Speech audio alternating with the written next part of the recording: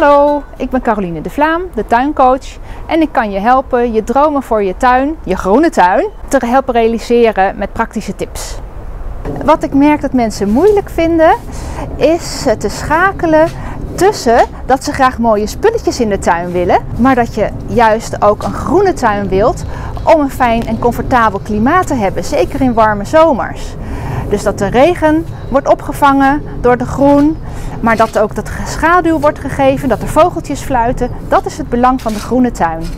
Ik ben Minke Hensema en we staan hier in mijn tuin, want ik heb de hulp ingeroepen van de tuincoach. Omdat ik elke keer met een flinke bui een enorm waterprobleem had in mijn tuin.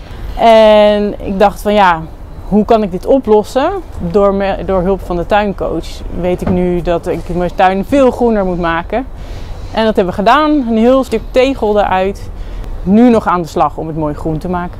Wil je ook gratis advies van de tuincoach om jouw tuin te vergroenen? Ga naar groenblauwdordrecht.nl